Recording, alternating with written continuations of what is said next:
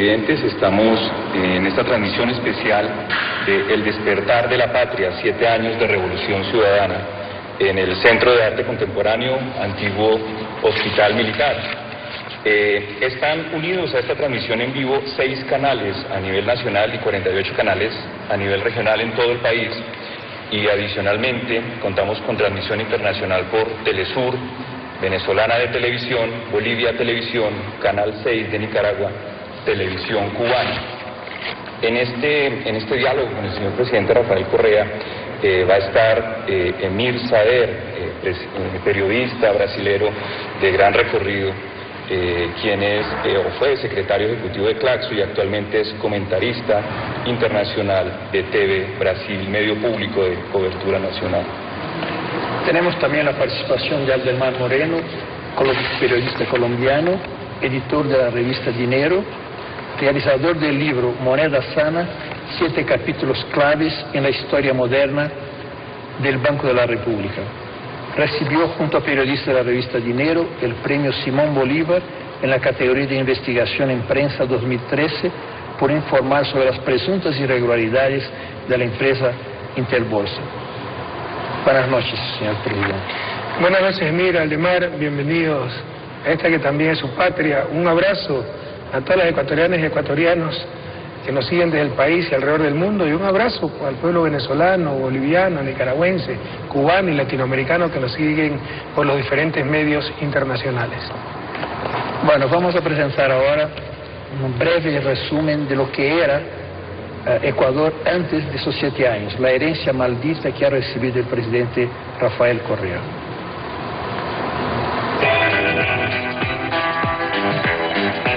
Este país estaba devastado por el neoliberalismo.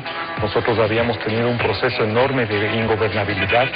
Es decir, era un Estado caduco, un Estado inmóvil, un Estado eh, realmente eh, que no había vivido ni siquiera un renacimiento, era un Estado medieval en el momento de la crisis bancaria ese bloque estaba hecho para mantener el poder de pequeños grupos en el país, mientras la gran mayoría era pero absolutamente excluida de educación, de salud, de los derechos mínimos. Somos la generación que está construyendo la nueva historia de nuestra patria. Este ya no es el país de la desesperanza que heredamos. Ya tenemos patria. Vamos a alcanzar juntos la verdadera libertad. Nadie puede parar lo que viene pasando. Seis años de revolución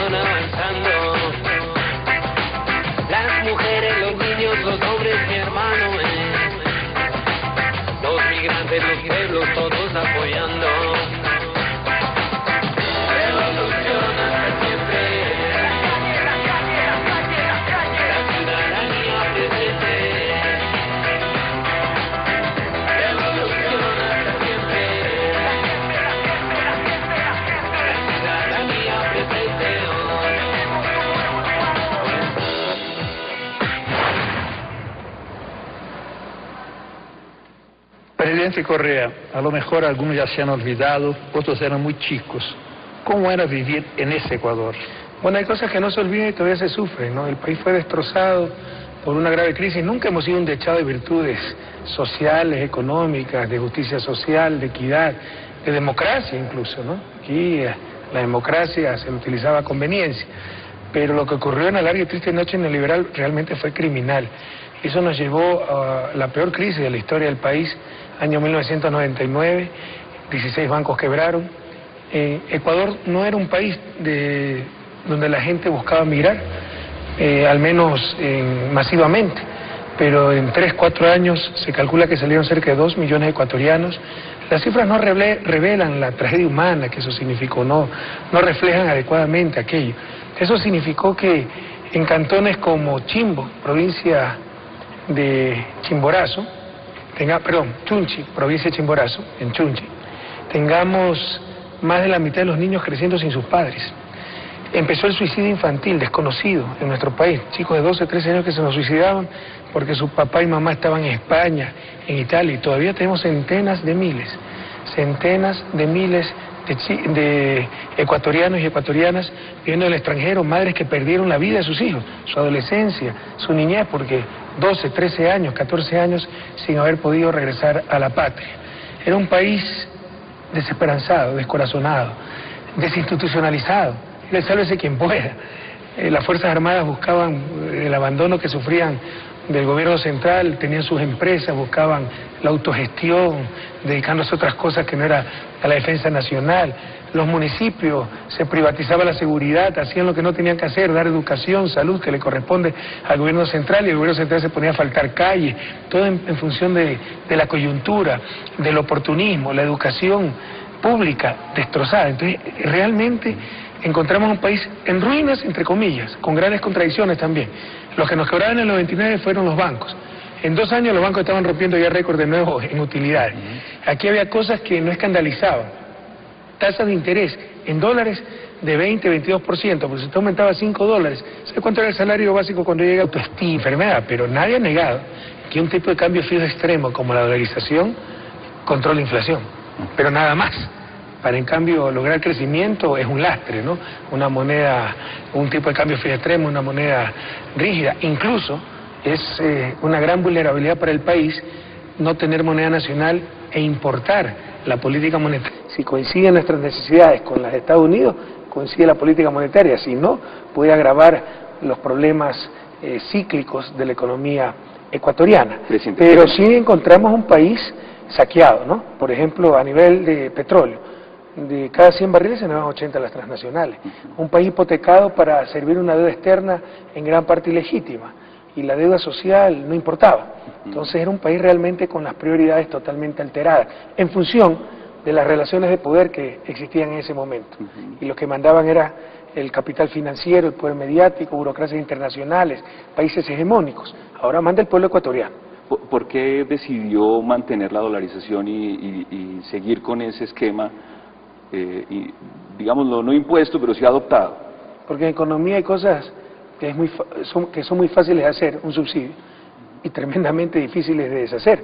De las, los costos de salir de la dolarización, yo jamás hubiera adoptado la dolarización. Si fue tan buena idea la dolarización, ¿por qué Colombia no dolariza? Porque la moneda es un instrumento fundamental de política económica, de coordinación social, un símbolo de soberanía. Y Ecuador, miren lo que está pasando en la Unión Europea. Uno de los problemas es que no tienen monedas nacionales, sino una moneda común. Nosotros tenemos una moneda extranjera. Pero los costos de una salida de la dolarización serían catastróficos. Es como que si usted tiene un- alquiló un, eh, un departamento y resultó que no había agua caliente, fallaba la calefacción, etcétera, pero cambiarse nuevamente es demasiado costoso y prefiere aguantar esos males. Pero si hubiera sabido al inicio cómo era ese departamento, jamás lo hubiera elegido. Uno, uno lee y después no puede imaginarse cómo, era, cómo ese país podía sobrevivir con siete presidentes en diez años. ¿Cómo era posible? ¿Qué continuidad de política? Buena pregunta. Mire, Emir, nosotros trabajamos muchísimo y créame que trabajamos bien y somos eficientes y así no nos alcanzamos. Yo no me imagino cómo, o sea, es difícil imaginarse cómo sobrevive el país con el caos institucional, la inestabilidad política, usted bien lo ha dicho, en 10 años 7 presidentes, menos de 18 meses por presidente, ¿cómo se podía gobernar el país de esa manera? Duplicidad de funciones, anarquía, eh, eh, un presupuesto en base a- al más sapo, al que más eh, influencias tenía, no en base a la planificación nacional. No había plan nacional de desarrollo. O sea, el país subsistía porque Dios es grande, seguramente Dios es ecuatoriano. Otro tema eh, importante que lo, lo he percibido durante esta, este periplo que hemos hecho por Ecuador y que vamos a continuar mañana eh, rumbo a Guayaquil, eh, es, es primero la imagen de los ecuatorianos acerca de sí mismos, es un énfasis que usted ha hecho y que lo hace públicamente y lo acaba de hacer en esta presentación, y dos, la imagen de, de Ecuador en el exterior. Usted, eh, en medio de, de situaciones muy polémicas, pero le ha dado estatus al Ecuador y la interlocución con ustedes eh, no es ya eh, una interlocución de, de quien domina contra un dominado. En, en ese momento, ¿cómo eran la imagen de los ecuatorianos acerca de sí mismo? Y dos, la imagen de los ecuatorianos en el exterior. Bueno, la imagen de los ecuatorianos era de una terrible eh, inferioridad, si usted quiere, ¿no? de un tercer mundismo, que las buenas carreteras solo eran para el resto. Ahora la región admira las buenas carreteras del Ecuador.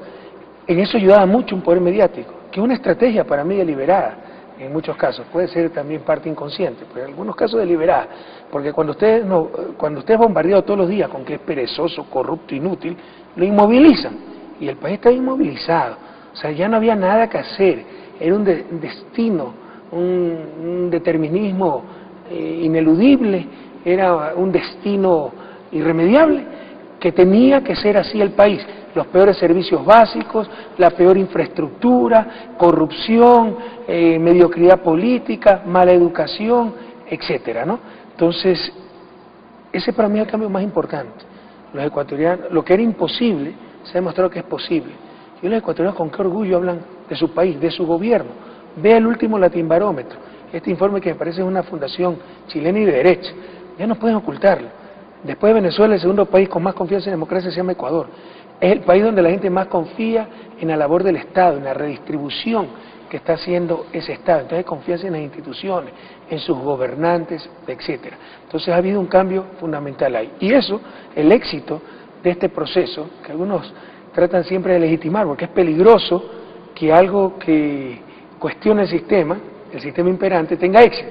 Entonces, cuando ya no pueden negar lo tangible, las carreteras, las hidroeléctricas, los puertos, aeropuertos, unidades del milenio, los hospitales, tienen que irse a lo intangible. Uy, Correa no se deja dominar por la prensa, entonces atenta a la libertad de expresión. Correa es prepotente, Correa es eh, eh, autoritario, etcétera, etcétera. O sea, ya se tienen que ir a las cosas que nadie puede verificar, ¿no? Y que en base a, la repetición una y otra vez en los medios de comunicación la tratan de convertir en verdad. Pero ¿cuál es la realidad? Que el modelo ecuatoriano y el proceso ecuatoriano incluso está siendo estudiado en, en un- universidades europeas, universidades norteamericanas, tenemos los mejores indicadores económicos de América Latina y por eso ya este proceso se está conociendo a nivel mundial como el milagro ecuatoriano. Yo no creo en milagros económicos, soy creyente, creo en otra clase de milagros, pero no en milagros económicos. Esta ha sido la voluntad de un pueblo de tomar el destino en sus manos y acertadas decisiones políticas, sociales y económicas. ¿Cómo era la relación de Ecuador con otros países y con el mundo en general? Hoy usted tiene una relación multifacética, mu- muchos organismos, países, etcétera. ¿Cómo era? Solo se veía hacia el norte, mire. Cuando llegamos dijimos, veamos hacia los costados, empezamos, eh, empezamos a ver al Gran Brasil, empezamos a ver hacia China. Eso lo dije que era ministro de Economía, es decir, éramos complementarios. ¿Cuál es el talón de Aquiles de China? Hidrocarburos, energía. Nosotros somos productores, exportadores de hidrocarburos. ¿Cuál es nuestra, de- déficit? ¿Qué es lo que necesita un país en transición hacia el desarrollo? Financiamiento. Tenemos muchos proyectos altamente rentables, pero no tenemos el financiamiento eh, para ellos. Entonces, llegamos a acercamientos con China y nos está financiando muchísimos proyectos y nosotros estamos mandando crudos. Entonces empezamos a ver ya, ya, ya no es eh, esas relaciones de sometimiento solo hacia eh, el país del norte, Estados Unidos, sino a establecer relaciones bilaterales de mutuo respeto en, eh, un cuadro de absoluta consideración de la soberanía de cada país con diferentes países del mundo. Entonces le he dado el caso chino, dado el caso brasileño, que también está financiando muchos proyectos. Hay muchas empresas brasileñas trabajando en Ecuador. Hemos ido a Rusia, acaba de vi- visitar el vicepresidente de India. Entonces, como que si el país se liberó de, ese, de esos atavismos, ¿no? que solo podíamos tener relaciones con Estados Unidos y en condición de dependencia, es decir, un neocolonialismo, básicamente aceptar irreflexivamente y pasivamente todo lo que nos imponían desde el norte. Ahora el ecuatoriano se siente independiente, se siente dueño de su destino, que no tiene que estar condicionado por nada, que puede tomar sus propias decisiones y hemos tenido eh, hemos establecido relaciones con muchos países alrededor del mundo, países con los que antes no había el más mínimo contacto. Un capítulo aparte es el, el capítulo colombiano, las relaciones con Colombia, que obviamente me interesa mucho recordar, eh, porque en, en- los últimos siete años pues ha habido unos ciclos interesantes. ¿Cómo, la cómo las encontró cuando la, recibió? Bueno, después vino el... Bueno, las relaciones con Colombia siempre han sido las mejores. El país que, con el cual hemos gozado de mejores relaciones diplomáticas. Ustedes saben los conflictos que tuvimos durante varios decenios con Perú. Lastimosamente con Colombia tenemos una frontera muy caliente, no por la relación entre países, sino por los grupos irregulares que actúan en esa frontera y hay ausencia del Estado colombiano. Ha mejorado mucho con el presidente Santos, pero todavía sigue habiendo gran déficit, con todo respeto. O sea, Colombia, el Estado colombiano no controla algunas partes de su territorio. El Estado ecuatoriano controla hasta el último centímetro de su territorio. Pero lastimosamente esas relaciones fraternales de siglos, el país con el que mejor, históricamente, mejor relaciones hemos tenido, mejores relaciones hemos tenido, eso se echó al traste, ¿no? Con ese bombardeo de Angostura el primero de marzo del 2008, que fue una total deslealtad y traición del gobierno del presidente Uribe. Y luego me llamó esa mañana para mentir y decir que había sido una persecución en caliente, que todavía había una patrulla colombiana atrapada.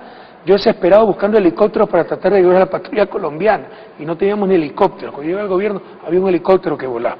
¿no?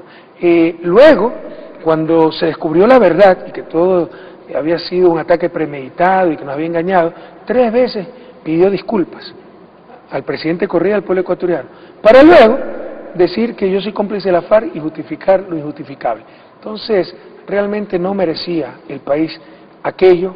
Nosotros somos víctimas también del conflicto colombiano, somos los que más deseamos la paz y somos nacionalistas. Jamás vamos a permitir, mire lo que pasó con la base de Manta, jamás vamos a permitir que un grupo regular o irregular extranjero pise el suelo patrio. Perfecto. El, el, el tema está superado, las relaciones están... Con el presidente Santos, por supuesto, ¿no? Eh, le puedo decir que incluso las relaciones están mejor que antes del ataque a Angostura. Y, la, y las noticias que se conocieron en, remana, en, semanas recientes sobre la participación de la CIA en los operativos... Puede ser un secreto a voces, Ajá. que nos dice también en quién podemos confiar y en quién no. O sea, la colaboración de Ecuador en la lucha contra el grupo irregular ha sido permanente. Nosotros también tenemos muertos, nuestros militares, nuestros campesinos. Pero ahí fue un objetivo político, noté como trofeo de guerra el, la cabeza de Raúl Reyes y cuando supieron que había esa infiltración de ese campamento en territorio ecuatoriano, no dieron nada sino que bombardearon. Y eso justificaron, por tener infiltrado ese campamento, ¿no? que somos cómplices de la FARC. Esa era la prueba que éramos cómplices de la FARC. Entonces no hay mayor cómplice de la FARC que Uribe, porque él cuántos campamentos pues, de la FARC tiene y tuvo en el territorio colombiano. Es un argumento que se cae por sí mismo. La verdad histórica es que Ecuador es víctima del conflicto colombiano, que siempre hemos buscado defender nuestras fronteras, impedir cualquier incursión de grupos regulares o irregulares extranjeros, pero que ni siquiera tenemos helicópteros, no tenemos radares. O sea, nuestras Fuerzas Armadas actuaban con, con equipamiento realmente insuficiente, rudimentario, y sin embargo hacían un gran control, pero cuando se detectó ese campamento con ayuda de la CIA, prefirieron pedir perdón a pedir permiso y tener como trofeo de guerra político la cabeza de Rol Reyes antes que respetar a un país hermano. Hoy capítulo superado, insisto. Sí, con el presidente Santos. Bueno, vamos a ver ahora un, un, algunas escenas de las transformaciones que el pueblo ecuatoriano, bajo la dirección de su gobierno, ha implementado en esos siete años. Nuestros niños ahora estudian en escuelas del milenio, estudian en mejores universidades, tienen mejor servicio de salud, hay medicinas, la salud es gratuita cada vez que recorremos las carreteras de nuestro país. Es decir, todos esos recursos los hemos logrado convertir en un proceso de desarrollo, de bienestar. El contenido principal es que el Estado sea eficiente y el Estado sirva a los ciudadanos. O sea, que haya una excelente oficina de registro civil, que haya una excelente atención a la educación, excelente atención a la salud. El buen vivir es un concepto que tiene que ver con temas de calidad de vida, ¿no? con temas de satisfacción espiritual, con temas de sentido de pertenencia a un proyecto nacional. Ya tenemos patria, estamos construyendo el sueño ecuatoriano, un sueño forjado con alegría, manos limpias, mentes lúcidas y corazones ardientes. Y esta revolución no puede tener marcha atrás, compatriotas. La verdadera libertad. La luz del continente que sigue brillando. Ecuador y su gente al mundo asombrando. Somos cientos de miles, Bolívar y Alfaro.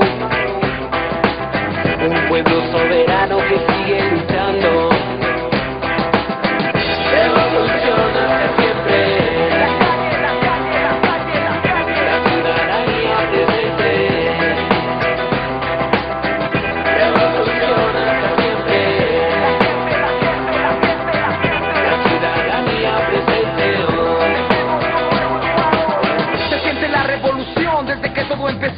Nuevo llegó y un país nuevo nació, luchando contra corrupción, discriminación, igualdad de condición, libertad de expresión. Por fin podemos ver un cambio real en la educación, un nuevo sol, libertad, yo. Hoy la salud es para todos, chicos, blancos, negros, pobres, cholos, buscando el modo.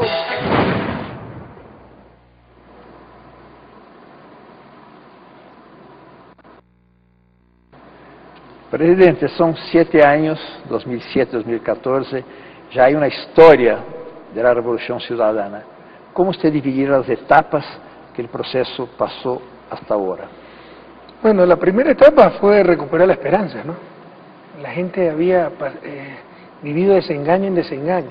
Se votaba por un presidente que ofrecía de todo durante campaña, hacía todo lo contrario cuando llegaba al poder. Eso era romper la democracia.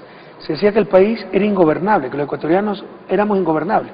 Se ha demostrado que es perfectamente gobernable cuando tiene un gobierno que se parece a su gente, trabajador, honesto, patriota, y cuando se cumple lo que se ofrece, porque hasta nuestros más acérrimos opositores tienen que reconocer que estamos haciendo exactamente lo que propusimos al pueblo ecuatoriano y lo que este pueblo, este pueblo ordenó en las urnas. Entonces, lo primero fue recuperar esa confianza.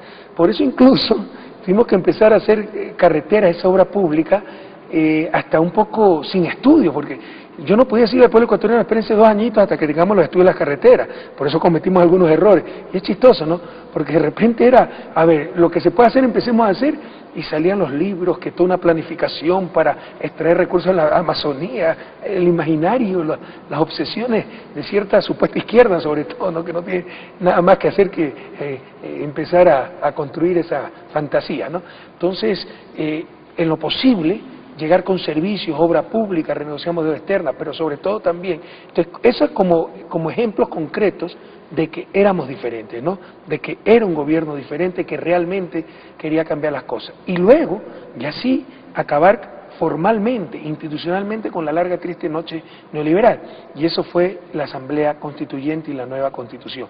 Fue el centro de nuestra propuesta de campaña del 2006.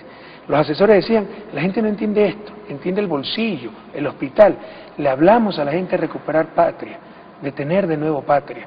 Ese era un, una frase, parafraseando al gran Benjamín Carrión, un gran ecuatoriano fundador de la Casa de la Cultura, Lojano.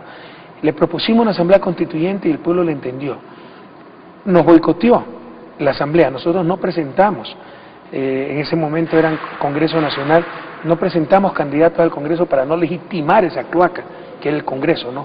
el reparto, donde se realizaban los repartos más impúdicos por parte de la partidocracia, como llamamos a los viejos partidos políticos nos boicotearon, no nos querían dar paso a la consulta popular, pese a que eso fue lo que ordenó el pueblo en las urnas.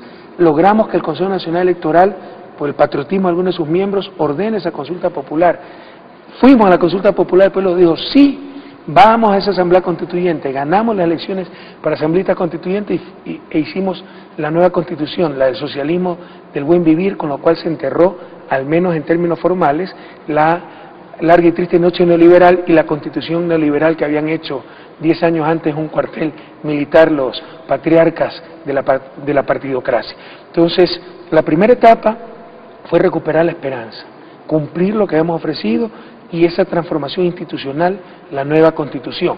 Luego, pues pagar esa deuda social, darle, renegociamos deuda externa, renegociamos, renegociamos contratos petroleros, recuperar la educación pública, recuperar la salud pública, el sistema de justicia por medio de una consulta popular también, consultándole al soberano, porque realmente era una, una decadencia total nuestro sistema de justicia, eso impedía garantizar la seguridad del pueblo ecuatoriano, porque delincuente que era atrapado, delincuente que era liberado, ganamos esa consulta, se está transformando la justicia en forma impresionante. Y en este último periodo hemos logrado recuperar esa confianza del pueblo ecuatoriano, recuperar esa confianza en los dirigentes, en su gobierno, en la democracia hemos ampliado muchísimo los servicios sociales, pero tengo muy claro que en esto se puede sostenerse una buena base productiva.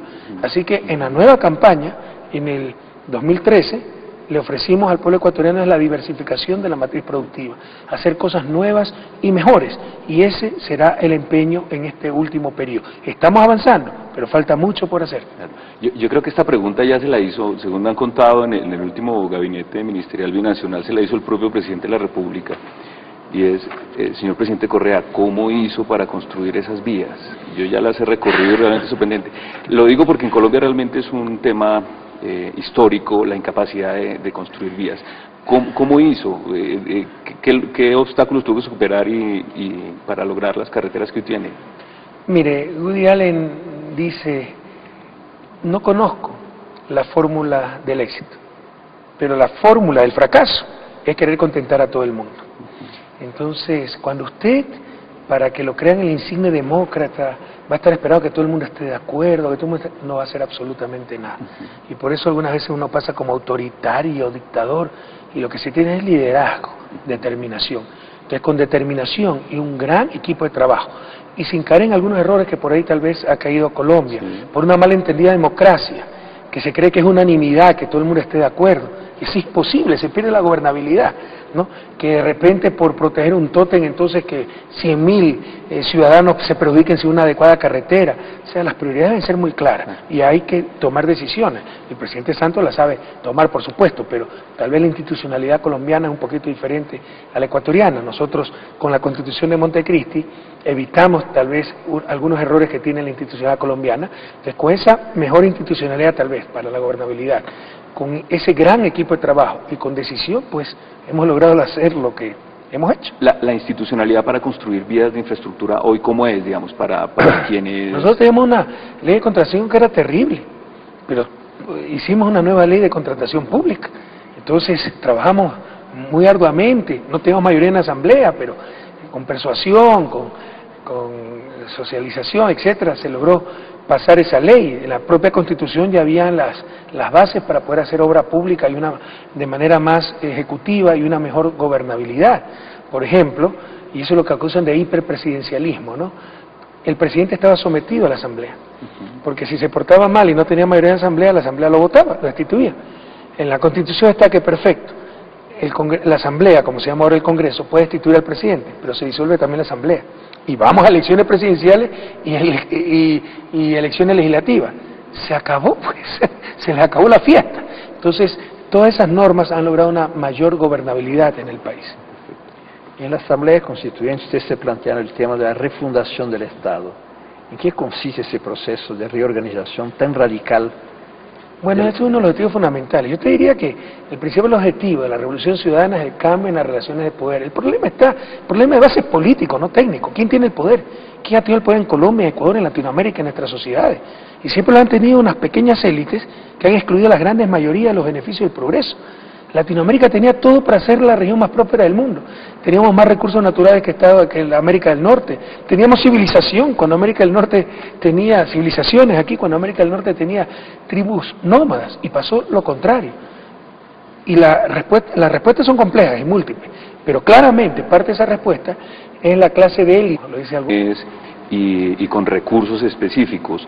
Eh, ¿Cómo ha sido ese proceso y cómo ha logrado financiar ese salto en inversión pública tan, tan importante que se, que se ha dado? Además, con mucho orgullo te puedo decir que somos el país hace varios años y de lejos con mayor inversión pública en proporción a su Producto Interno Bruto. Lo- los amargados de siempre, ¿no? Por ahí un expresidente que lo resucita en cada una de estas épocas, ¿no? ya un cadre político, eh, dice que lo que pasa es que somos suertudos, altos precios del petróleo. En el año 2009 cayeron los precios del petróleo, nos cayeron a 26 dólares. América Latina creció 2%, Ecuador creció 1%, y sin tener moneda nacional. Eso se puede medir. Hay modelos econométricos donde se puede controlar la variable precio del petróleo y ver si son otras variables las que han incidido en el crecimiento. Nosotros somos muy técnicos en eso, en los buenos eh, resultados económicos, en los buenos resultados sociales. Y claramente los resultados nos demuestran que son buenas políticas económicas, buenas políticas públicas, no los altos precios del petróleo que en este momento no te justifican ni la quinta parte de la, de la inversión, que además los gobiernos locales reciben proporcionalmente por ese ingreso petrolero. Entonces, si solo es eso el, el factor, la explicación de todo lo que estamos haciendo, ¿por qué no se hace lo mismo a nivel local? No, realmente es porque la eficiencia ha mejorado mucho, porque tenemos una adecuada planificación, porque somos muy pragmáticos, estandarización eh, de hospitales, de subcentros, no es que cada subcentro es diferente al otro, eh, porque tenemos un gran equipo de trabajo, pero también, por ejemplo, porque se acabó la corrupción, pues, se acabó la evasión de impuestos. Recaudo tributario. Hemos triplicado la recaudación de impuestos. Y no aumentando impuestos, como dirán ciertos opositores. Yo te puedo demostrar que hemos eh, reducido muchos impuestos, impuestos a telecomunicaciones, impuestos a las planillas eléctricas, etcétera. Es por mejor recaudación, por haber bajado, reducido drásticamente la evasión, porque los grupos evasores saben que con nosotros, como no tienen contacto, no tenemos compromiso, como no nos han financiado campañas, etcétera, con nosotros no se juega. Y se ha triplicado la recaudación tributaria. Empresas que estaban quebradas. La corrupción es tan grande en este país, y prohibido olvidar pueblo ecuatoriano y Latinoamérica. El negocio más rentable del mundo se llama telecomunicaciones. Aquí la telefónica de la costa, que se llamaba Pacifitel, estaba quebrada que ahora las empresas públicas generan excedentes. Renegociamos los contratos petroleros. De cada 100 barriles se nos dan 80. Ahora es al revés. De cada 100 barriles quedan 80 para el pueblo ecuatoriano. De otra manera, con los anteriores contratos no hubiéramos gozado, pues, no nos hubiéramos beneficiado de los altos precios del petróleo, porque todos se llevaban las, las transnacionales.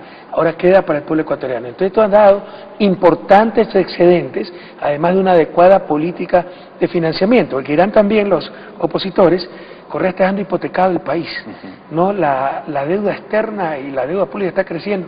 Nuestro coeficiente de PIB es 23%, lo más bajo de América Latina y más bajo de la historia del país. Y deuda externa es 12-13%. Entonces, por todos lados ustedes ven muy sana la política pública, la política fiscal.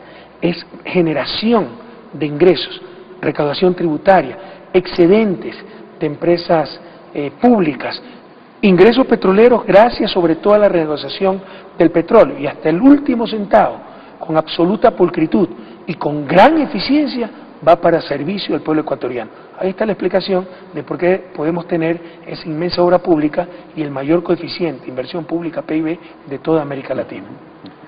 Revolución ciudadana. ¿De dónde vino esa categoría? Ciudadano es el sujeto de derechos, ¿no? Eso vino de un movimiento político que usted lideró previo a, la, a 2007. ¿De dónde viene esa categoría y por qué ella define el proceso? Porque nuestro proceso fue una reacción ciudadana ante tanta decadencia, ante tanto entreguismo, ante tanta traición. Insisto, votábamos por un proyecto político, se iba al poder y se hacía totalmente lo contrario. En el 2003 llega Lucio Gutiérrez con apoyo de los indígenas, a la izquierda, con un discurso nacionalista. Llega al poder a inclinarse ante los Estados Unidos y el centro de su política económica, un tratado de libre comercio que jamás propuso en campaña. Eso es romper la democracia, por favor. Eso es traicionar al mandante, que es el pueblo ecuatoriano. Entonces, eh, fue una reacción ciudadana ante tanta decadencia. ¿Y por qué revolución? No por violencia, hay revoluciones pacíficas. ¿no? ¿Qué es revolución? El cambio radical, profundo y rápido. En este caso de las estructuras vigentes, de la noche neoliberal, pero en general de estructuras que precedieron con mucho neoliberalismo, ¿no? estructuras injustas, excluyentes en nuestro país. Entonces, por eso, revolución ciudadana, porque fue una reacción espontánea prácticamente de la ciudadanía. Yo fui producto del hartazgo de la ciudadanía ante tanta corruptela política, ante tanta entreguismo, como ya manifesté, y eso fue uno de los problemas, ¿no? Llegamos al gobierno, a diferencia del proceso boliviano, proceso venezolano, argentino, fue un gobierno sin movimiento. Ahora hemos consolidado el movimiento político que respalda a ese gobierno. Pues fue una reacción ciudadana. ¿Y por qué revolución? Porque el país no tenía tiempo que perder. Había que hacer cambios radicales, profundos y rápidos, y eso es revolución. dos de los baluartes de, la revolución ciudadana son educación y salud. Eh, ahí las cifras están para, demostrarlo. En, en, educación, inversión triplicada, 3.290 millones de dólares. En salud, 9.000 millones de dólares. Ahí, ahí que hay que hay para mostrar eh, eh, derivado de esas cifras y de ese incremento en la, en la inversión. Hemos pulverizado pues, los niveles de, de, inversiones anteriores, pero créame, o sea, donde más bajo se ha hecho es, se ha triplicado con respecto a los gobiernos anteriores la inversión Sumados en ciertos rubros, ¿no? incluso sumados todos. En el periodo de gobierno nuestro hemos quintuplicado lo que hicieron los tres o cuatro gobiernos anteriores en educación, salud, etc. ¿En qué se refleja esto? En muchos aspectos. Por ejemplo, en educación, en la unidad del milenio, ustedes han visto en el reportaje. Claro que, falta mucho por hacer. Calculamos que hay que hacer 900 unidades nuevas. Hemos hecho 60. O estamos haciendo pero 60, sí. ¿no? Ya están planificadas 200 más. En la parte de salud, los hospitales, pues el sistema de salud estaba destrozado. Hoy tenemos hospitales repotenciados, no había un tomógrafo en los hospitales públicos. Hoy cada provincia tiene al menos un tomógrafo, y estamos hablando de 24 provincias del país, tomógrafos públicos. ¿Usted sabe la transferencia para los pobres qué significa eso? Porque una tomografía cuánto cuesta, 200, 300 dólares. O se tenía esa plata o se moría el pobre. Ahora no tiene que gastar esa plata Entonces, esto es lo que los servicios de salud gratuitos eh, eh, eh, ha tenido mucho impacto en la reducción de la pobreza. Entonces, todo eso se verifica esa importante inversión en, en educación, salud, básicamente infraestructura, porque ya personal es gasto corriente que también ha incrementado muchísimo en cuanto a educación y en cuanto a salud. El- Hay un tema central eh, en educación que es pertinencia y calidad. Eh, ese es un tema que en Colombia, porque en Colombia las coberturas también se han, se han aumentado, pero siempre hay unas críticas a los temas de calidad. ¿Qué se ha hecho para mejorar pertinencia de la educación que forma parte del, del futuro de la revolución? Pues es, es Se han hecho cosas que parecían imposibles y que otros países no lo han logrado. Evaluar profesores. Eso era impensable hace siete años. No había gobierno que pudiera hacer eso. Cuando lo hicimos hace tres años, cuatro años, que, que huelga, que paro, la supuesta extrema izquierda, que, porque es el partido más conservador, la de esa supuesta extrema izquierda, siempre está contra todo, contra cualquier cambio, ¿no? Y queremos hasta las últimas consecuencias. Ahora, cada año se nos evalúan eh, decenas de miles de profesores y ya ni siquiera es noticia. Entonces, se evalúa, ¿no? Se evalúan colegios, se evalúan sistemas. Ahora hay examen de ingreso para las universidades, o examen estandarizado. Vemos eh, los bachilleres de tal colegio, las deficiencias que tiene, etcétera. Entonces, se está teniendo mucho cuidado también a calidad, en formar mejores docentes. Ya este año empieza a funcionar la nueva uni- universidad eh, docente, la UNAE, de Universidad Nacional de Educación, en la provincia de Cañar. Entonces, se reformó el currículo, se unificó el bachillerato, porque era una barbaridad pedagógica eso que a los 15 años un chico tenía que decidir si era físico, matemático, químico, biólogo, social, a los 15 años.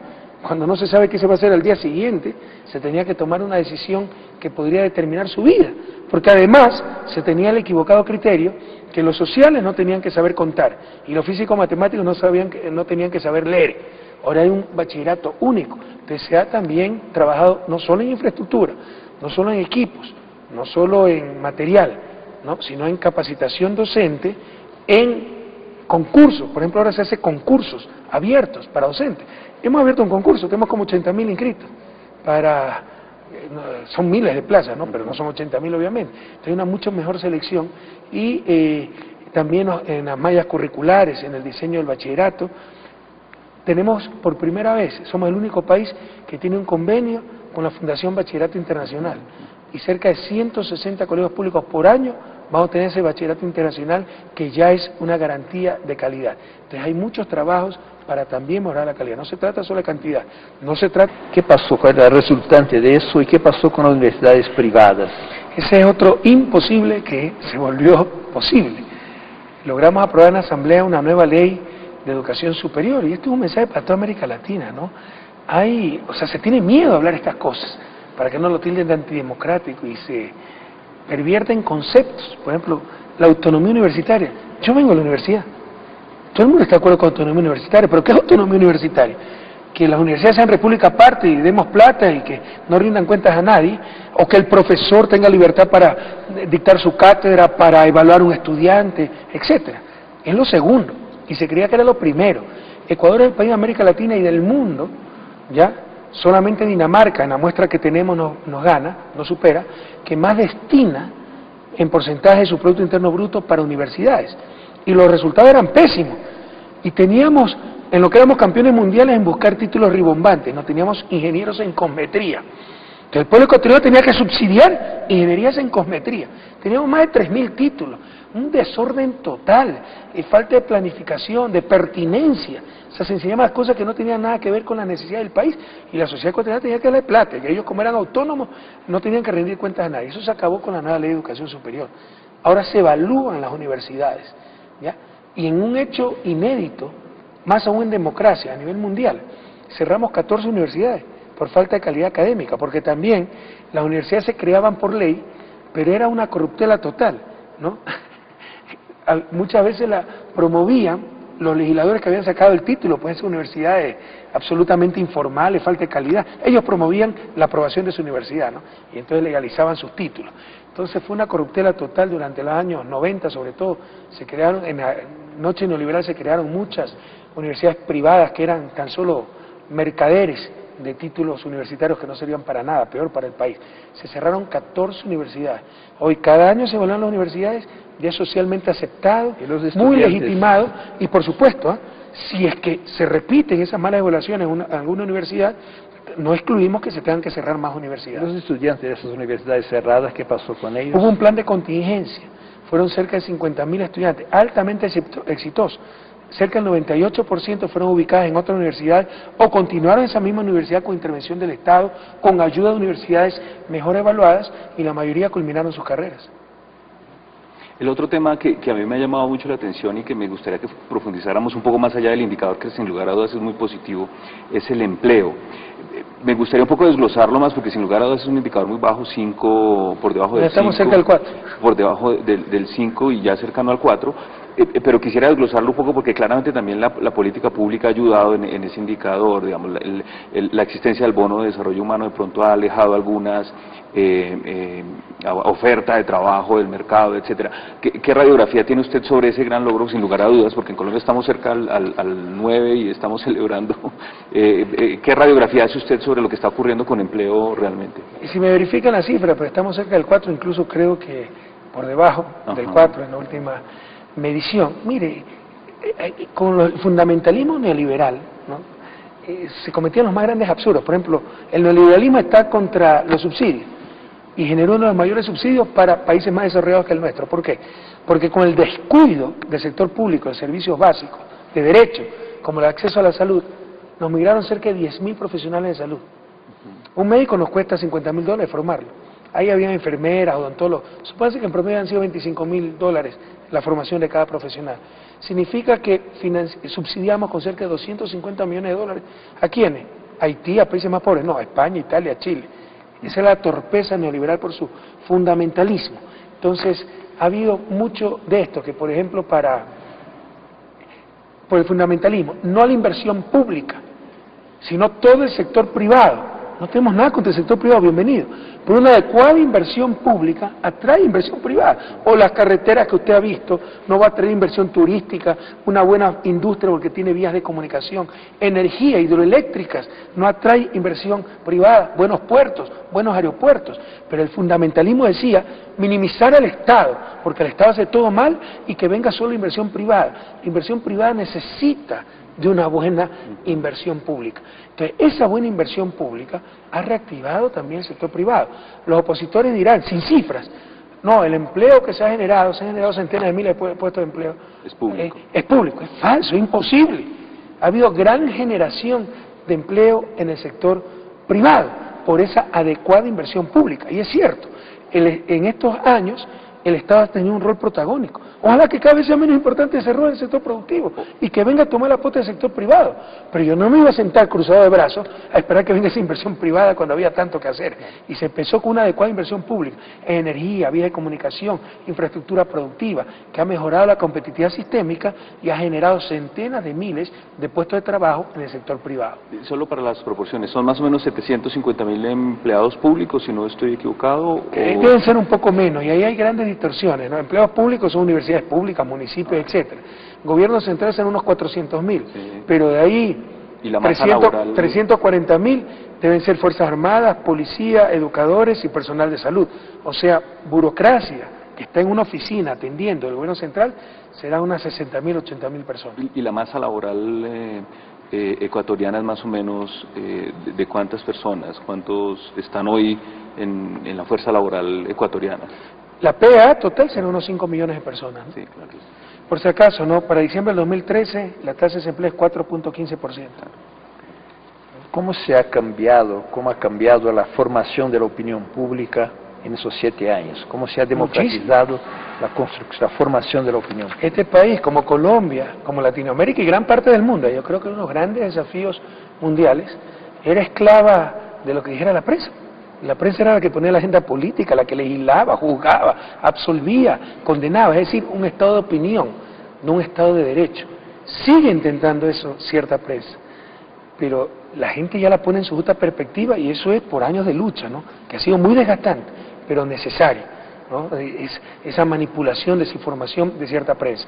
Y esto sí se ha logrado, ese, esa regulación adecuada a la prensa, ese control social que debe tener cualquier poder, y más aún un poder tan grande como el poder mediático, sí, sí, ha logrado avanzar con la nueva ley de comunicación, que no es una ley de medios solamente, ¿no? También regula la prensa, pero es una ley para eh, lograr una verdadera comunicación de toda la sociedad, estimular la producción nacional, eh, artística, canciones, eh, musicales, publicidad, etcétera. O sea, va mucho más allá que los simples medios de comunicación como se trató de posicionar. Pero había un cambio dramático. Este país, o sea, antes, con dos periodicazos, dos titulares del diario más leído, se cayó un gobierno.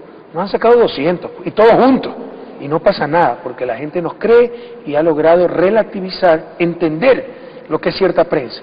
negocios privados con fines de lucro que proveen un derecho, pero cuando ese derecho entra en conflicto con el fin de lucro o la búsqueda del poder ¿no? Mediático, de abusar de ese poder, por supuesto que van a privilegiar el poder y el lucro.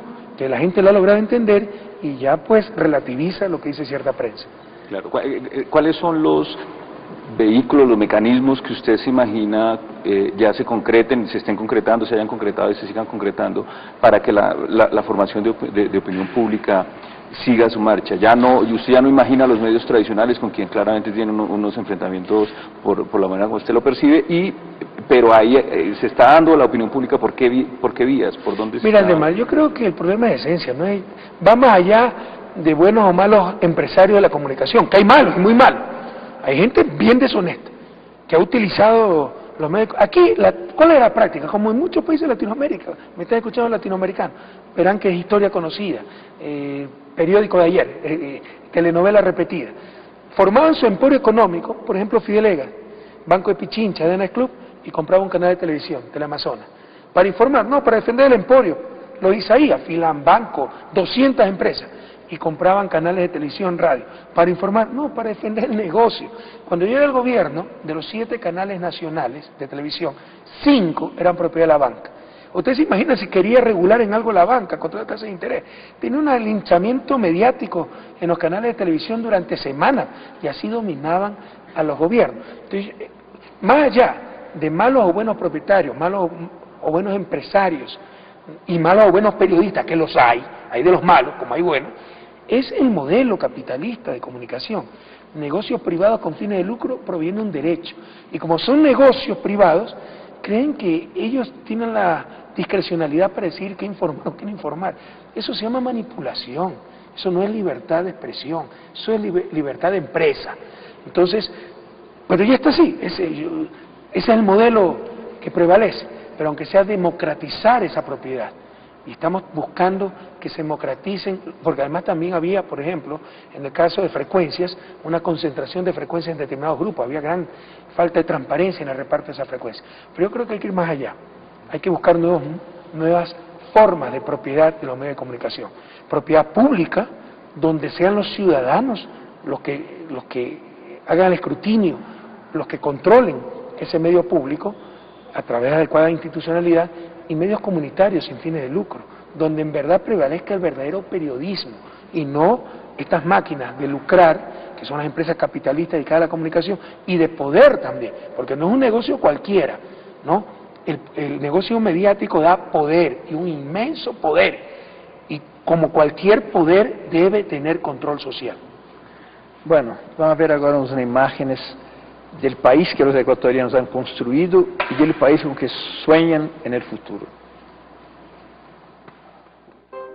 Es muy importante que pasemos a esa sociedad del conocimiento, por eso es la inversión grande que se está haciendo en educación, en talento humano, en las becas, en el, por ejemplo en la zona económica de Yachay, traer ciencia y tecnología de otros países para que justamente podamos elaborar productos con mayor valor agregado y podamos tener nuevas industrias eh, de gran desarrollo para el país y lo que procura en este lapso es dejar enrumbado un país, con hidroeléctrica para tener autonomía energética, con una nueva refinería grande, con petroquímica para dejar orientada los, las grandes este, bases para la, para la industria, un sistema vial que permita la productividad, gente estudiando por millones, con mejores universidades por la evaluación que hubo, mejores escuelas, o sea, dejar una sociedad con la suficiente esperanza y la autoestima para gobernarse a sí mismo. Es la hora de sumar fuerzas, porque esta no es la victoria de un hombre ni de un partido, será la victoria definitiva de todo un pueblo. Ahora sí tenemos la patria de la esperanza. Tenemos que sostener los cambios. Esta es tu revolución.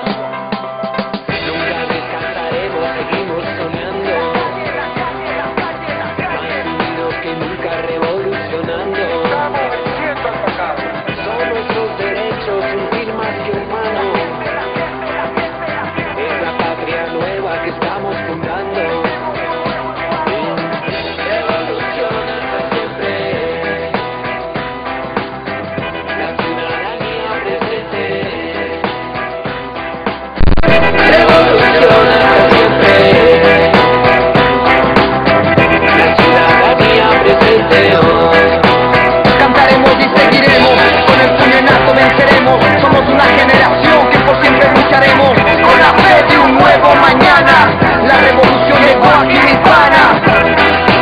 Así que ponte fuerte y prepárate, óyelo bien. Con la fe de un nuevo mañana.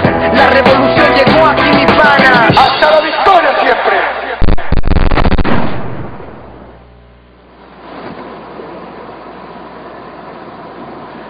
Presidente Correa, ecuatoriano, una niña ecuatoriana que haya nacido en 2007 o que nazca ahora en 2014, ¿qué es lo que puede esperar para su vida?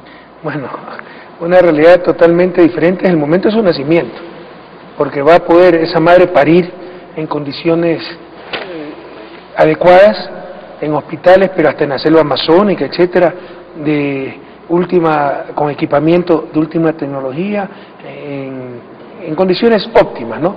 Esa niña que antes, tal vez si tenía suerte, a los 5 o 6 años, si su madre pagaba 25 dólares que se llamaba contribución voluntaria, iba a poder acceder a una escuela unidocente y, a- y con mucho esfuerzo iba a acabar la primaria, tal vez, ¿no? Si tenía que pagar libros, etcétera. Esa niña, desde que nace, va a tener acompañamiento del Ministerio de Inclusión Económica y Social en el programa Creciendo con Nuestros Niños, que es un, un programa de desarrollo infantil integral, pero creemos que de cero a un año tienen que ser los padres los directamente responsables. Hay asesoría del MIES, Ministerio de Inclusión Económica y Social, complementos nutritivos, etcétera. De uno a tres años ya puede ir a uno de los centros de desarrollo infantil del buen vivir, los IBBs, o seguir en el programa Creciendo con nuestros niños, a cargo de sus padres, con apoyo del MIES. O insisto, tenerlos en esos centros de desarrollo infantil donde reciben cuatro comidas, donde tienen profesionales atendiendo los tiempos completos. Luego, a los tres años, nada de esto existía antes, ¿eh?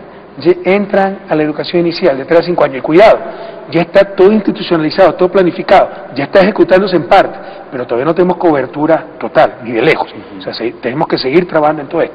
Pero de tres a cinco años ya entra educación inicial.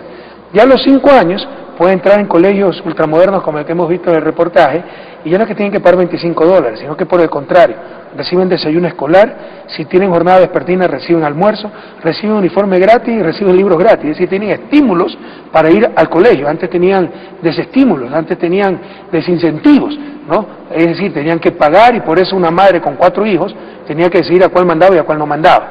Luego, se nos gradúa, entra a una universidad que ahora por mandato constitucional es gratuita. Y si son buenos alumnos y sacan, son el 5% más alto en el examen de ingreso a la universidad, pueden optar directamente por una beca completa a la universidad que escojan, normalmente las 100 mejores del mundo. O si no, pueden hacer la universidad en Ecuador gratuita y luego aplicar una beca de posgrado. Tenemos cerca de 8.000 ecuatorianos alrededor del mundo, muchos en las mejores universidades del planeta, becados por el país, por el gobierno de la Revolución Ciudadana. Entonces, esa niña que nace en el 2013 tiene una perspectiva totalmente diferente a una niña que nacía antes del 2000. Cuando usted habla de gran inversión pública, si alguien sabe cómo dice, caramba, probablemente un inmenso déficit fiscal, lo cual implica un alto endeudamiento. El coeficiente de PIB es 22, 23%, el de Estados Unidos está cerca del 100%, no sé cuánto esté el de Colombia. Eh, la dependencia del petróleo disminuyó drásticamente. En cuanto al total de presupuesto, el ingreso petrolero deberá ser la cuarta parte, la quinta parte, está entre el 20 25%, pero por supuesto todavía nos falta disminuir muchísimo más esa dependencia del petróleo. Eso es lo que se llama superar la economía extractivista. Pero algunos caen en el infantilismo, que superar la economía extractivista es cerrar la llave petrolera, no explotar las minas, y probablemente salgamos de la economía extractivista para regresar a la economía recolectora. ¿Me explico? Superar la economía extractivista es movilizar esos excedentes que nos dan los recursos naturales no renovables a otros sectores de la economía, como la agricultura, la industria, el turismo. La economía del conocimiento, el ejemplo que le he dado, las 8.000 becas alrededor del mundo, Yachay, la, nueva ciudad del conocimiento, las cuatro nuevas universidades que estamos haciendo. Eso es superar la economía extractivista y estamos poniendo mucha énfasis en eso. Por supuesto, todavía estamos en una etapa muy vulnerable, con alta dependencia, menos que antes, pero todavía dependencia del petróleo. Entonces los opositores dicen, si Correa tuviera el precio del petróleo a 10 dólares, entonces no fuera tan exitoso. ¿Quién fuera exitoso en ese caso? ¿Sí me explico? Sin embargo, le insisto, o sea, hemos tomado las medidas adecuadas para poco a poco ir superando esa dependencia que todavía tenemos de nuestros recursos naturales no renovables. Pero hay unos desafíos eh, evidentes, y, hablo de, la balanza comercial, que están ya empezando a mostrar que ustedes están por buen camino en el, tema del cambio de la matriz productiva, porque solo por esa vía, produciendo cosas nuevas que demanden con alto valor agregado, etcétera, que demanden los mercados internacionales, se puede pensar en que la economía ecuatoriana siga subiendo. Pero en la coyuntura el, déficit comercial sigue creciendo y usted y su gobierno ya empezó a adoptar medidas para, para reducir importaciones y, meterle el diente a ese, a ese gran tema que es el, ese desbalance. ¿Ese, ¿Ese diagnóstico que está haciendo es acertado o...? Sí, muy acertado. El talón de Aquiles de la economía ecuatoriana, siempre lo hemos dicho, es el sector externo, no es el sector fiscal, como dice el fundamentalismo neoliberal, es el sector externo, y en gran parte fruto del sistema monetario que tenemos, un tipo de cambio fijo extremo. Si Colombia tiene un problema del sector externo, devalúa el peso. Nosotros no podemos devaluar el dólar. Entonces, tenemos que buscar otra clase de medidas. Y es verdad, o sea, con el incremento del ingreso, eso es eso es típico, un comportamiento de Ecuador tiene un comportamiento típico de los países en transición hacia el desarrollo. Estudie los diferentes casos, ¿no? En que hay, una, hay un momento en que tiene que invertir mucho y todavía no puede exportar, ¿no? Por ejemplo, nosotros tenemos que eh, invertir en, hidroeléctricas. Todavía el país no produce turbinas, hay que importarla. Esto nos va a ahorrar combustible que estamos importando para termoeléctricas. Pero en este momento solo tenemos que invertir, todavía no, no gozamos de los beneficios de esa hidroeléctrica que va a funcionar en los próximos años. Entonces es normal, es común más, que normal, en un país con las características de Ecuador, en la transición hacia el desarrollo, tener problemas en el sector externo básicamente en cuenta corriente. Estamos muy conscientes de eso. Esto se agrava por el sistema eh, dolarizado, por el sistema monetario que tenemos. Entonces, y, y sí, sí hay que tomar medidas ahí, porque se está gastando por el incremento de ingresos, ¿no? Una clase media que mejora sus condiciones de vida, etcétera, se está gastando en bienes suntuarios, pese a los aranceles, pese al impuesto a salida de divisas, en perfumes, en chocolate, en golosinas de Colombia. Gastamos cerca de 100 millones de dólares, hasta papas fritas estaba importando el país, hasta carne para estas cadenas Burger King, McDonald's, o sea, en esas condiciones, es más lo que quitan que lo que dan, darán algún puesto de trabajo, pero es mucho más lo que quitan que lo que dan, porque debe entender el pueblo ecuatoriano que sacar dólares de economía es como botar nuestro petróleo por la ventana. Sobre todo, o sea, si es para una hidroeléctrica en buena hora, pero si es para perfúmenes, chocolates finos, papas fritas, carne para las hamburguesas, es como desperdiciar nuestro petróleo. Entonces, tenemos que limitar eso y estamos tomando las medidas del caso. Eso le ayuda a superar el déficit, creo. Esperamos que este año se reduzcan 800 millones las importaciones con todas las medidas. Porque otra cosa, mire, las normas técnicas para garantizar la calidad de los productos que importamos y los productos que se generan en la industria nacional, eh, en Europa son unas 26.000 en promedio. Chile tiene más de 6.000, nosotros tenemos 800. Entonces no habíamos utilizado adecuadamente la regulación incluso para proteger, no solo como medida para evitar importaciones, para proteger la salud del pueblo ecuatoriano. Por ejemplo, bicicletas con plomo que nos importan o motocicletas altamente contaminadoras. Entonces, para, garantizar la calidad de esos productos, estamos aplicando activamente esa regulación, se están incrementando las normas técnicas y eso va a limitar grandemente cierta clase de importaciones. Usted dijo que no le gusta la economía extractivista, economía minera, la explotación minera, pero que le gusta menos la miseria. Por supuesto. ¿Qué significa eso? ¿Qué consecuencias lo Yasuni que puede explicar? Eh, mira, aquí hay mucho fundamentalismo y mucho infantilismo, ¿no? Y no, no toquen, no extraigan, no exploren, muéranse de hambre, pero qué, qué, preocupados por la naturaleza que son los ecuatorianos. Bueno, el ser humano también es parte de la naturaleza y la prioridad, incluso excluyente, que tiene el país es superar la pobreza. Pero de ninguna manera excluyente. Es más, la pobreza te afecta el medio ambiente. Pero hay mucho mito que el que destruye la selva amazónica es la explotación petrolera. Mentira. Lo que más está destruyendo la selva amazónica es la expansión de la frontera agrícola y pecuaria. Y si tú no das alternativa de empleo a ese finquero que te está deforestando el bosque para poner ganado, seguirá deforestando el bosque, seguirá dañando la selva. La pobreza hace que contaminemos el agua dulce, la minería daña el agua dulce. De lejos, el mayor factor contaminante en nuestra agua dulce son las aguas servidas de las grandes ciudades y cómo poblaciones sin, adecuados, sin adecuada infraestructura sanitaria botan sus aguas servidas a los ríos. Entonces, la pobreza también contamina y destruye la naturaleza. A diferencia de la opulencia, ¿no? que contamina en mayor grado, pero contamina global, globalmente, no sufren directamente todos los efectos de su contaminación. El pobre que te contamina un río, con aguas eh, servidas, etcétera, y luego se va a bañar, bebe ese río, se perjudica su propia contaminación también. Entonces, el imperativo moral es superar la pobreza y no es excluyente de conservar la naturaleza, sino que eso va a reforzar esa conservación eh, de, esa naturaleza, esa Pachamama. Pero aquí hay fundamentalismo que dicen, no, muéranse de hambre, no tengan eh, educación, no tengan salud, pero no nos toquen la selva. Y lo que más indigna es que muchas veces son extranjeros que vienen con esos cuentos. No, nos acaba de sacar un periodicazo, la revista Newsweek, sobre la decisión que tuvimos que tomar sobre Yasuní, dolorosa, ¿no? pero necesaria. Yo no estoy aquí para contentar a todo el mundo, sino para tomar las decisiones que considero responsables. ¿no? Entonces, los árbitros y el mal, ¿no? que aquí vamos a destruir la selva y que corre un dictador, que no le importa la naturaleza, la humanidad. Yo pregunto, ¿cuántas selvas virgen tiene Estados Unidos? ¿Cuántos grupos no contactados tiene Estados Unidos? Entonces que tenga un poquito de coherencia, que basta de tanto descaro, de tanta indecencia, de venir a imponernos, cuando ellos tienen la panza bien llena, imponernos lo que ellos nunca hicieron. Nuestra prioridad es vencer la pobreza y eso no destruye la naturaleza. Ayuda a proteger la naturaleza, pero obviamente habrá que intervenir responsablemente en selva amazónica, etcétera, para aprovechar nuestros recursos naturales.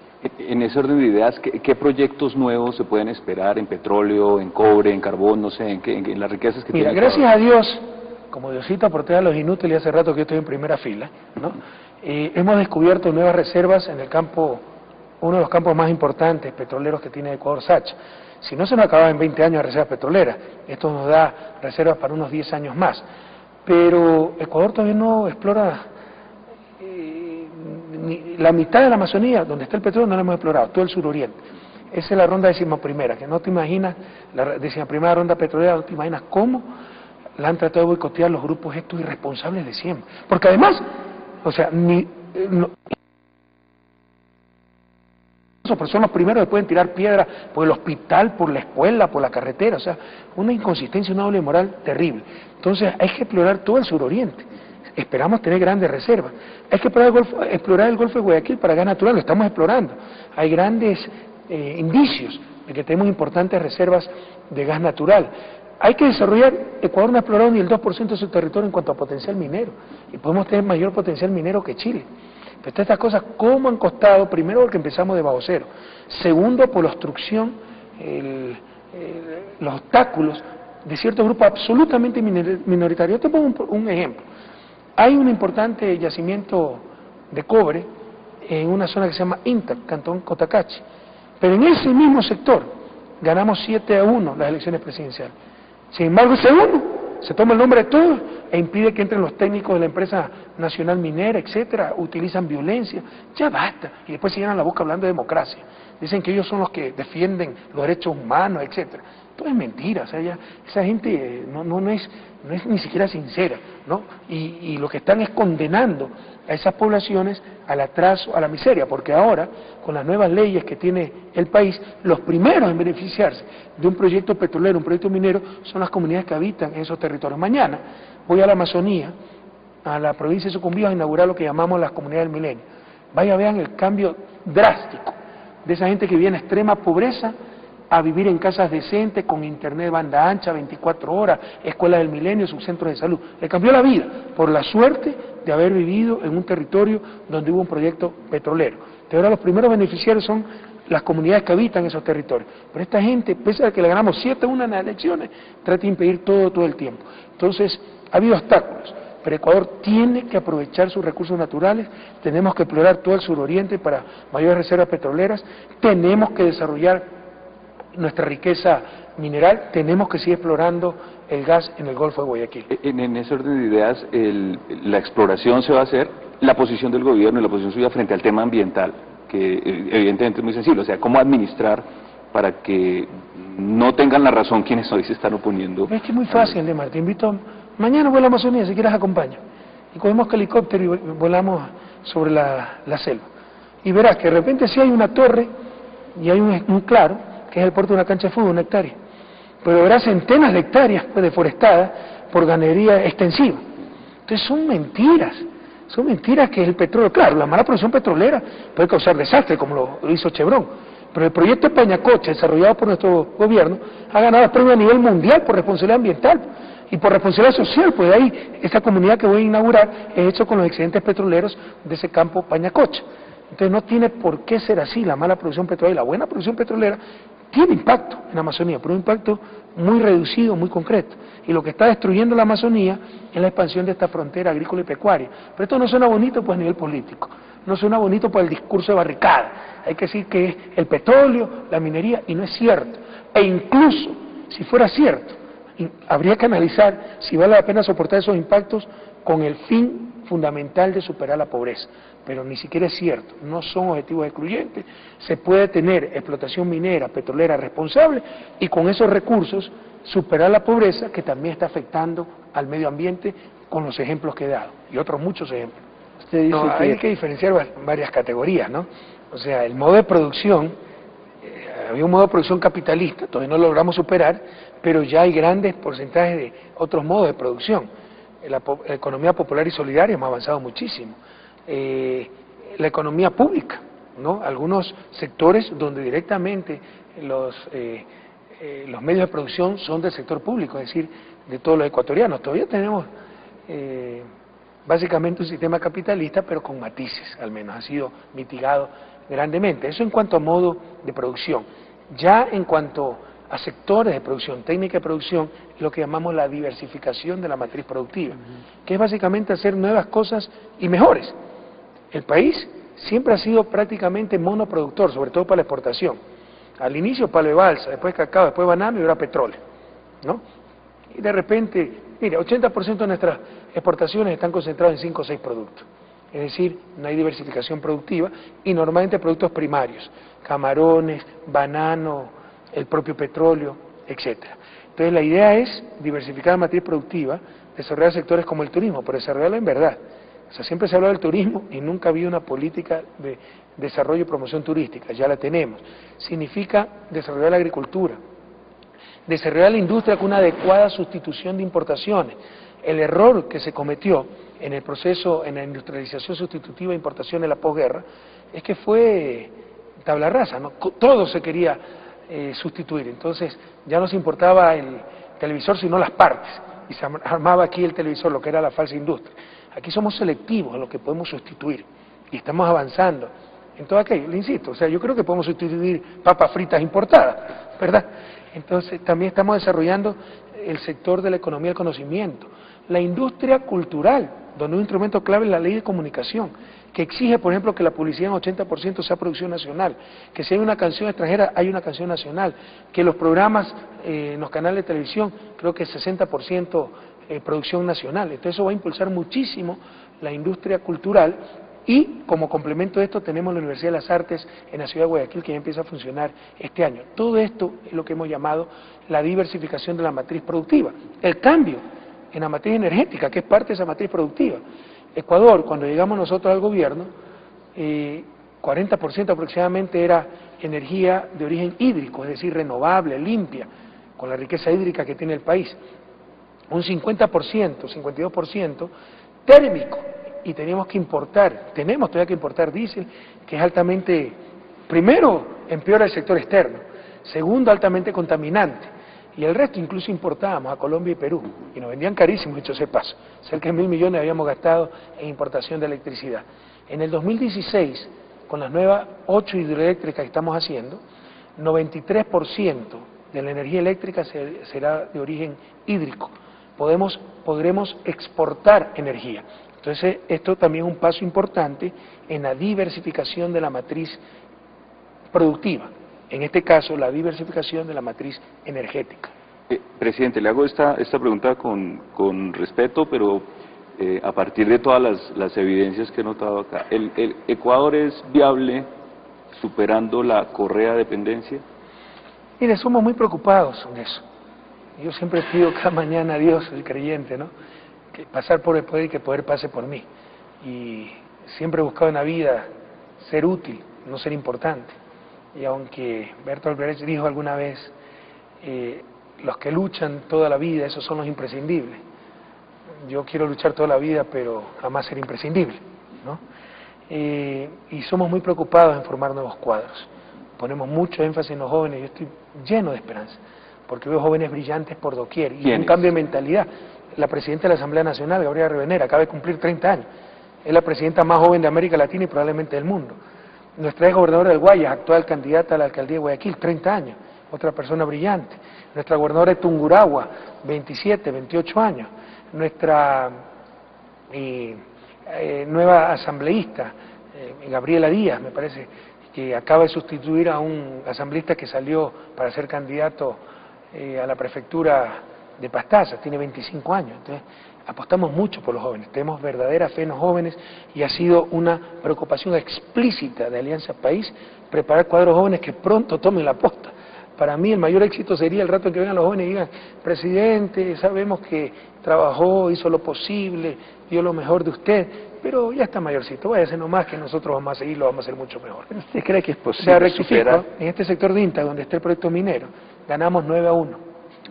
Pero ese uno se opone a todo y habla en nombre de todos. Terrible. ¿Usted cree que es posible la superación de su desarrollo, la dependencia, fuera de un proyecto regional de No. América del Sur? Y hemos sido muy claros. O sea, eso es lo que pretende la izquierda boba, ¿no? Que en un país pequeño como Ecuador cambiemos el mundial. Eso es suicida. Cambiemos la División Internacional del Trabajo. Debemos de producir petróleo y pongámonos por decreto a producir software, satélite. Eso es absurdo. Imagínense un Evo Morales sin, sin exportar minerales, una Venezuela sin exportar petróleo.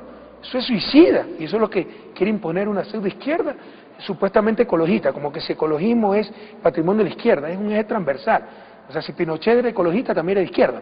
Si el Che Guevara no era ecologista, no era de izquierda. Esas son las tonterías, las novelerías. Y es un absurdo pretender que un país pequeño como Ecuador cambiemos la división internacional de trabajo, cambiemos las relaciones injustas de poder a nivel mundial. Lo que sí podemos hacer es proteger a nuestro pueblo de esas injustas relaciones de poder o de las consecuencias de esa injusta división de trabajo. Pero sí, con la integración podemos tener mayor incidencia. Yo también creo que es difícil, desde el sur de América Latina, cambiar el injusto orden mundial. Yo creo que lo pueden hacer los ciudadanos indignados del primer mundo. Por eso el movimiento de los indignados, Occupy Wall Street, etcétera, dan tanta esperanza. Pero bueno, tal vez se lo pueda lograr, pero integrados, juntos. Individualmente, países pequeños como Ecuador, Bolivia, tratar de cambiar ese injusto orden mundial, la División Internacional de Trabajo, eso es suicida. Y eso es lo que buscan ciertos izquierda boba, que cree que es izquierda radical y la, ma- la más funcional al status quo y a la derecha. Las líneas centrales de ese proceso de integración que pudieran ayudar a toda la región a superar la, la- la situación actual, ¿cuáles serían? ¿Cómo, cómo se la imagina esa integración en, en un futuro? Bueno, es UNASUR, por ejemplo. Ustedes se pueden imaginar que todavía comerciamos en dólares, una moneda extrarregional. Y con eso extraen riqueza pues, nuestras naciones, es lo que se llama el impuesto a la señor- al señoreaje. El que emite dinero, tú, tú eres especialista en eso, capta pues parte de riqueza. El ejemplo es muy fácil. Si yo le vendo una silla a Venezuela que cuesta 10 dólares, Estados Unidos, por emitir un billete de 10 dólares, como que si capte una silla ecuatoriana. Entonces tenemos que ir a sistemas de compensación, como es el SUCRE, el Sistema Único de Compensación Regional. Es decir, yo te vendo 100, eh, tú me vendes 80 y solo se transfieren 20 y el resto cobramos en moneda nacional a nuestros respectivos exportadores. Tenemos que ir a un fondo de reserva regional, que son cosas tan obvias. Eh, América Latina transfiere centenas de miles de millones de dólares al primer mundo. Financiamos al primer mundo. Financiamiento que se requiere para nuestro desarrollo. Pero no solo financiamiento, porque financiamiento es que yo doy 100 y después me devuelven 100. Es transferencia neta de riqueza, porque a la vez que mandamos nuestras reservas al primer mundo, centenas de miles de millones, estamos hablando de unos 400 mil millones de dólares, ¿ya? Y tal vez por esa reserva nos dan 0.5%, 1% anual, al mismo tiempo nos endeudamos al 7-8% con esos mismos países. Y los billetes no están marcados, son nuestros propios billetes, cuando deberíamos tener el Fondo de Reservas del Sur. Es más, coordinando reservas se necesitan menos reservas. Es como la acción colectiva. Es, si, si tú quieres, eh, si tu casa cuesta 50 mil dólares, ¿ya? Eh, a la final tú solito no puedes pagar por, para, para protegerte de un incendio en tu casa. Pero si hay 50 casas de 50 mil dólares y cada uno pone mil dólares, ya se tiene 50 mil dólares para cubrir el incendio de una casa, reponer esa casa. Y la probabilidad de que todas las casas se incendien es mínima. Entonces, lo que no lograbas individualmente lo puedes lograr colectivamente. Con la misma o menos cantidad de reservas, poniendo juntas las reservas, que se llama en inglés pooling reserves, puedes tener mayor cobertura que cada uno teniendo en el extranjero su reserva, Brasil, Venezuela, Colombia, Bolivia, Ecuador, etcétera, además de que acabas con esa barbaridad de estar financiando al primer mundo y transfiriendo riqueza al primer mundo, porque son recursos tuyos que los pones al 0.5, al 1% en Estados Unidos, en Canadá, y luego te prestas a esos mismos países al 7-8%, un absurdo completo. Usted dijo alguna vez que lo más difícil es el cambio cultural. ¿Qué avances se ha tenido y qué obstáculos hay que enfrentar todavía por delante? Sí, cambio cultural en muchas cosas que nos inmovilizan. Por ejemplo, la, la eterna victimización. Somos los pobrecitos, nos explotó Estados Unidos, los españoles fueron unos malvados, entonces no tenemos que hacer nada porque somos los buenos y los malos son los que tienen que cambiar. Entonces, si nos iba mal en algo, íbamos a echarle piedra a la Embajada de Estados Unidos. Entonces hay que acabar con esa victimización. Claro que ha habido explotación en América Latina, lo he dicho, soy el primero en reconocerlo, pero los principales responsables de nuestra, de nuestra situación somos nosotros mismos y hay mucho que cambiar. ¿no? Eh, o el paternalismo, ¿no? Por ejemplo, con nuestros pueblos ancestrales que tantos años, pobrecitos, y los otros las víctimas, no, sí, hemos sido explotados. Entonces, como son víctimas, se cae un error muy grave. Creer que tienen supremacía moral sobre los no victimizados. No, las víctimas son eso, víctimas, pero no son mejores ni peores que el resto. Hay que reparar esa injusticia, por supuesto. El creer que tienen la respuesta a todo el mundo, ellos son los que tienen el buen vivir. No es verdad. Ellos son los que han sabido cuidar la selva. Por supuesto, si son 3.000 guaranis, el impacto en la selva va a ser mínimo. Pero si son 300.000 guaranis, con las mismas técnicas de producción que tienen ahora, vamos a ver el impacto en la selva. Y se vive engañando, sobre todo una izquierda infantil, insisto, con estos mitos, ¿verdad? Entonces, ese, esa victimización ha inmovilizado a nuestros pueblos, a nuestros pueblos ancestrales. Además que se le ha hecho creer que por eso tienen supremacía moral, que solo hay buenos. No, hay buenos dirigentes indígenas y malos dirigentes indígenas. Hay buenos indígenas y malos. Donde más violencia intrafamiliar hay es en el mundo indígena. Donde más alcoholismo hay es en el mundo indígena. Estas cosas no hay que decirlas, ¿no? Eh, se cree, creen que tienen todas las respuestas, que ellos tienen el buen vivir. No es cierto. Nuestros pueblos indígenas no viven bien y se confunde miseria con folclore. La miseria no puede ser parte del folclore. En el siglo XXI, cualquier grupo humano que no tenga eh, acceso a, a, servicios básicos, agua potable, alcantarillado, vía de comunicación, telecomunicaciones, electricidad, eso no se puede llamar folclore, eso se tiene que llamar miseria, injusticia, pero se la considera parte del folclore y así lo inmoviliza. Y por último, por ser víctimas eluden su responsabilidad. También hay responsabilidad de ellos, de su situación. Pudieron reaccionar antes, pudieron estar unidos. Y esto que te hablo a nivel de grupos indígenas, también hablemos a nivel de nuestros pueblos. ¿no? Hemos sido explotados, entonces que cambie el resto, yo no tengo que cambiar nada porque yo soy el bueno, tengo toda respuesta y el resto no. El resto es el que tiene que cambiar. Y así nos inmovilizamos. Ese es el cambio cultural. Dejar de justificar todo, la impuntualidad, qué mayor falta de respeto, qué mayor ineficiencia. ¿no? Entonces, si hablamos de impuntualidad aquí en Ecuador, la culpa es el gobierno, porque no hay buenos medios de transporte. Yo, yo estudié en Urbana Champaign, en Illinois. Es la ciudad con mejor transporte de Estados Unidos, de las ciudades pequeñas. Y los ecuatorianos siguen llegando tarde. Entonces ya no tenían pretexto, y cuando le preguntaba por qué llegaste tarde, ah, no, es que feo llegar a puntual. O sea, ya era una virtud la impuntualidad. Y así justificamos todo, y si justificamos todo, ¿no? Einstein decía, eh, eh, insanidad es hacer una y otra vez lo mismo y esperar resultados diferentes. Muchas veces nuestros pueblos quieren que todo cambie sin cambiar absolutamente nada. Eso es imposible. Eso es parte de ese cambio cultural. Exigirnos mucho más, lograr la cultura de la excelencia, no ser tan autocomplacientes con nosotros mismos, parar esa victimización y por otro lado ese paternalismo. ¿Qué fue lo que cambió el economista, el profesor Rafael Correa en esos siete años? ¿Qué cambié yo o qué yo pude cambiar? ¿Qué cambió usted? Bueno, he aprendido muchísimo, ¿no? Cosas que no te enseñan los libros de texto, por ejemplo. Todos sabemos que la infraestructura es muy importante para el desarrollo, que aumenta competitividad sistémica, productividad. Yo nunca me imaginé el impacto que tenía en autoestima la gente. Sentirse ya parte de una sociedad, porque ya tengo el buen carretero, ¿no? El sentirse eh, igual que el resto del mundo, porque nos habían acostumbrado a que éramos inferiores y que solo podíamos tener malos carreteros. Eso jamás me lo imaginé. Y eso es tal vez el cambio más importante, el cambio en la actitud de nuestro pueblo. Un pueblo para el cual antes todo era imposible. Nos consideramos inferiores, nos habían acostumbrado a eso, nos habían bombardeado poder mediático. O sea, las buenas noticias no eran noticias, solo las malas. Todos éramos corruptos, perezosos, inútiles, etc. Entonces, eso ha cambiado.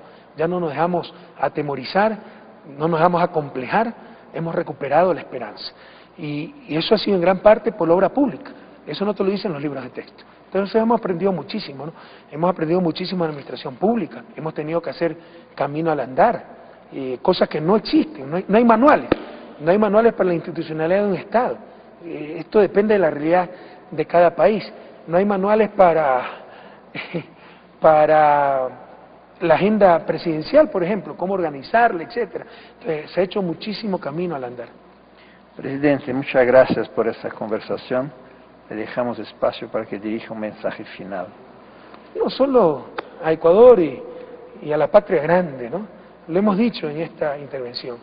Ese sueño de nuestros libertadores de la integración de una nación de naciones ya no es solo un sueño, es una necesidad de supervivencia sobre todo para los países pequeños. Un Brasil puede ser un caso diferente, pero sobre todo para los países pequeños.